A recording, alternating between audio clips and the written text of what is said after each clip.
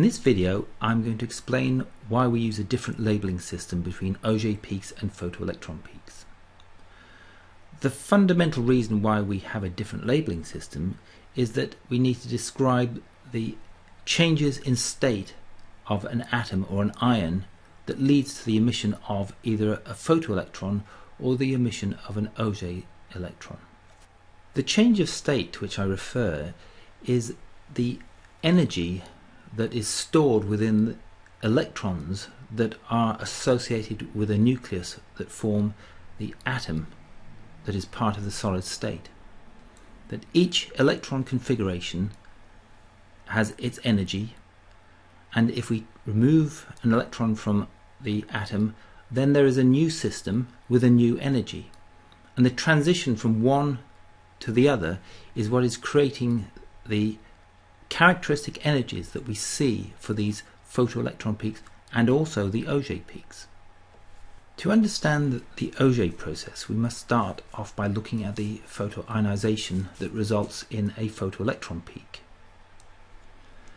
If we consider the photoionization of the copper 2p3 halves, then this is achieved by creating a hole by virtue of scattering an electron by a photon in the 2p 3 halves subshell of the atom stroke ion. So when we create a hole, what we're doing is we are absorbing some of the energy of the photon. So the energy that we see in terms of the kinetic energy for a photoelectron peak is equal to the energy of the photon minus the binding energy that's required to remove the electron from the atom. And then we also, in terms of measurement, there's the work function of the instrument that will also remove part of the kinetic energy. That will also be true of the Auger peaks, but this is essentially the relationship that converts the photon energy, the binding energy of an atom, to the kinetic energy that we observe in the data. The reason we use the label copper 2p 3 halves for a specific peak that is a photoelectron peak is related to the fact that we have created a hole in this shell of electrons and we can identify this hole by a set of quantum numbers and these are the principal quantum number, the angular momentum quantum number and the total angular momentum quantum number for this particular shell. So we're not really describing the electron itself by 2p3 halves, we're describing the hole that has been created within the ion that has been raised in energy due to the absorption of the photon. So we label our photoemission peaks using holes as opposed to the electron itself having some inherent property. And we apply the same principle to the labeling of Auger electrons. An Auger electron describes a set of initially a hole and then final holes.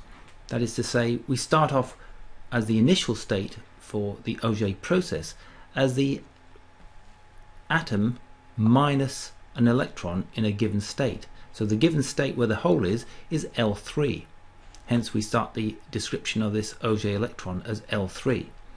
Then from M4, as we see here M4, an electron drops from this energy level to fill this hole. And this liberates energy, and that energy could be emitted as an X-ray, and in some way this is the reason that we use the LMM description is because this derives from X-ray spectroscopy. So we have an X-ray potentially emitted with a given energy that is characteristic of dropping from an M4 to an L3 state. However, the Auger process functions slightly differently.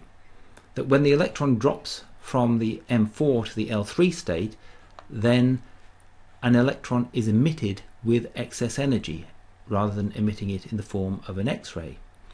And the binding energy of that state will reduce the amount of energy compared to the X-ray, but nevertheless the electron leaves with a very characteristic energy that is dependent on the change in the configuration from an atom with a hole in the L3 state to an atom that has a hole in two states, M4 and M5, and the L3 is filled.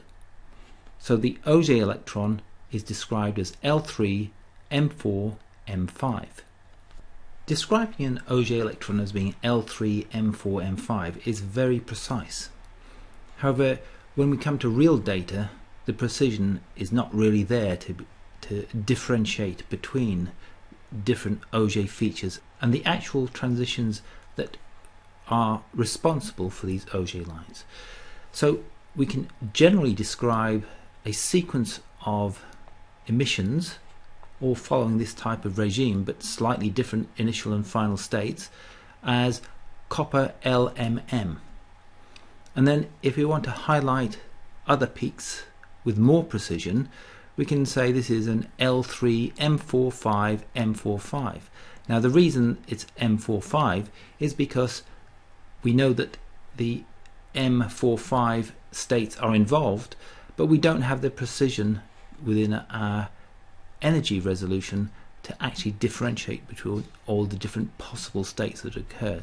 So we tend to group together states by calling them M45. So M45 is equivalent to saying copper 3D. Instead of saying copper 3D 3 halves and copper 3D 5 halves as being the electrons involved in the Auger process. We can be as precise as we need to be, but we can also be less precise as is practical.